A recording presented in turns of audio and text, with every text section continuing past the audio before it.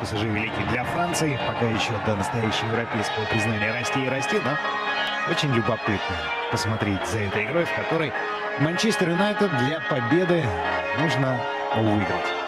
За победу в Международном чемпионов победитель получает 3 очка. В случае ничьей вы, наверное, уже знаете, в основное время сразу же серия пенальти, и в ней эти три очка раскладываются между двумя соперниками в классической пропорции. Победителя 2, проигравшему одно. И вот сегодня МЮ будет достаточно любой победы, неважно, в основное время, после матчевой перестрелки. И Манчестер становится тогда чемпионом второй год к ряду, опережая всех десятерых участников этого турнира.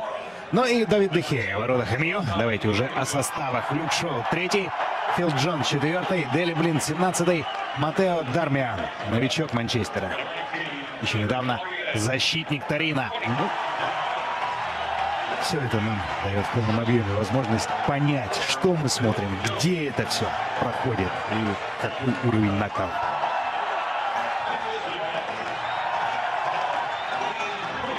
Представил стартовый состав. Сейчас это делает диктор-информатор. Конечно, болельщиков Манчестера здесь на трибунах больше. И дело не в том, гражданами какой страны является собственник клуба, а в том, что МЮ, конечно, один из самых популярных клубов Европы, Англии, ну и мира в частности. И если мы посмотрим на трибуны, то увидим, как много людей в красных футболках там пришли поддержать свою команду. Не назвал я только еще одного человека. Луи Вангал, главный тренер МЮ его противостояние, его взгляд на происходящее. ПСЖ в привычной темно-синей форме. Меньше 180. Щупленький игрок французской юношеской сборной. Вот первое взрослое межсезонье. Передача Ибрагимович. Рядом со штангой. Швед, конечно, хорош. Тоже сколько говорили о том, что он уйдет. В частности, в Милан. Была ли эта игра Гента был ли это что-то еще, но Ибрагимович остался. И как визитная карточка, ну и как абсолютно системообразующий игрок. Причем под системой надо понимать не только тактические построения, но и роль личности на поле.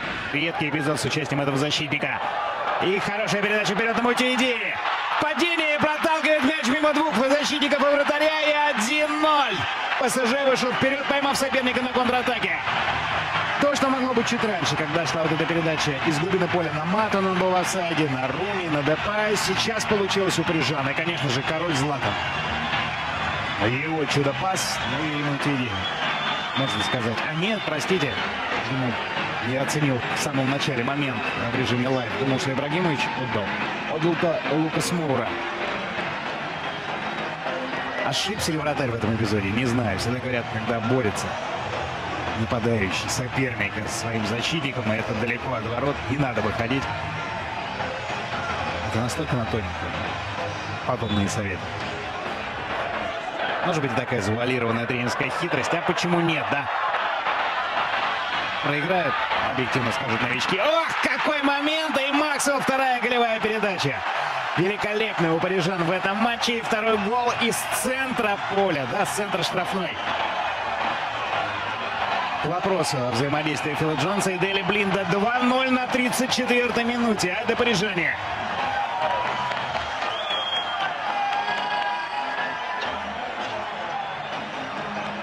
Лукас на Ибрагимович. Тот налево. Максел. Аккуратно дошел. Дармиан почему-то очень плотно играл в этом эпизоде. К центральному защитнику шел на помощь.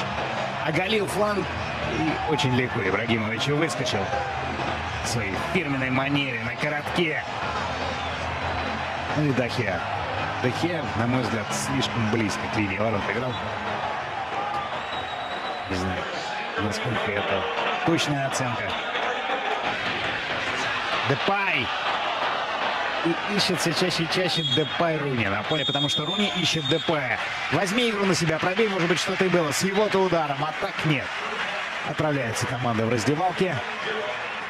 Стадион аплодирует, но аплодирует задумчиво. И вот след за Дехея мы видим других футболистов. 2-0 в решающем матче Международной Кубки Чемпионов и ведет ПСЖ, а не Манчестер.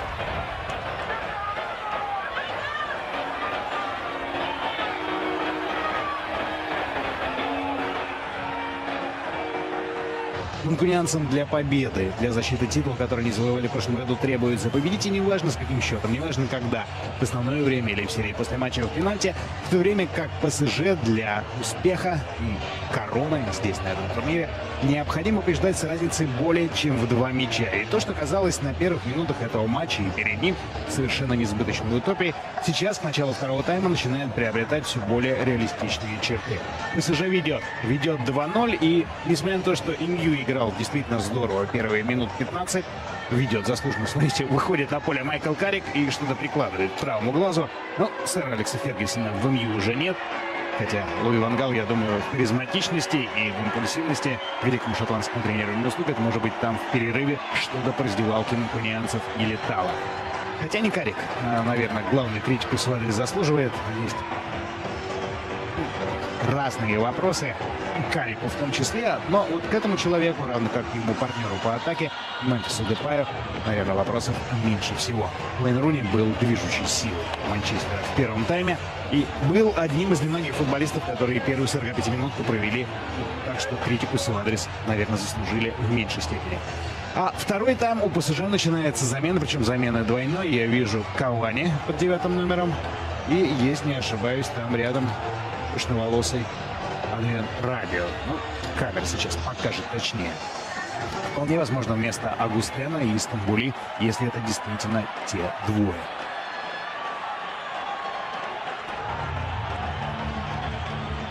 Появляется Маркинес под пятым номером. Вот он, крупным планом появляется Давид Луис. Стамбули пока на поле. И действительно, вот э, то, что поначалу, наверное, не выглядело стопроцентным планом, возможно, для Лорана Блана в перерыве начинает обретать все более конкретные черты. И те замены, которые были сделаны, мне кажется, были сделаны в том числе и под победу здесь, на этом турнире тоже. Андреас Перейра, МЮ под 44 номером, вышел на левый край атаки. Шнайдерлин по-моему, тоже появился. Вот он, да. 28-й. В общем, замена и в одном и другом клубе разберемся. Достаточно быстро. Сейчас давайте составы назовем те, в которых команды начинали встречу. И вперед элегантно на Ибрагимовича. Не хватило ему рывка. Очень много внимания было на мяче сосредоточено, чтобы его обработать, как следует на газон положить. И быстрые ноги Дармиана догнали этот момент. Сэм Джонстон опять крупным планом.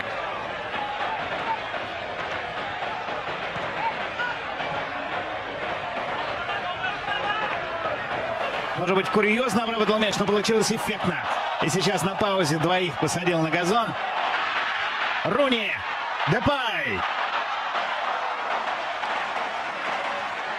Нужен даже не гол, на мой взгляд, Манчестера сейчас, а просто один удачный момент, когда действительно бы получилось, и, может быть, даже если бы и не забила команда, но все равно бы дух захватил от того, как она сыграла в атаке. Часто высказывает недовольство когда количество замен не регламентировано. Говорят, что это игру рушит, но это сомнительно. Жан-Кристоф Бейбек мог сейчас забить на первой же минуте своего пребывания на поле в точно такой же манере, как Мутиди.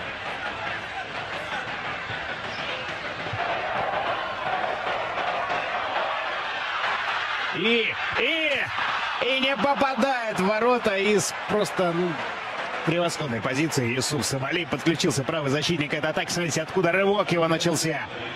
И передача от своего Карик, когда увидел, да, он даже пируэт, собственно, сделал. Голевая передача, по сути, была.